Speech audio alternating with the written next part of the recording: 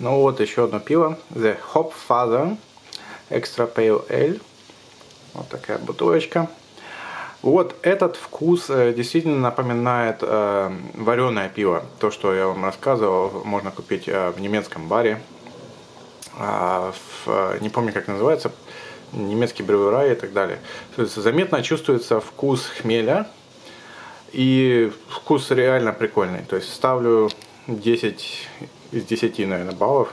Ну, может быть, 9 из 10, потому что, наверное, э, идеала нету. Так что хорошее пиво. Рекомендую.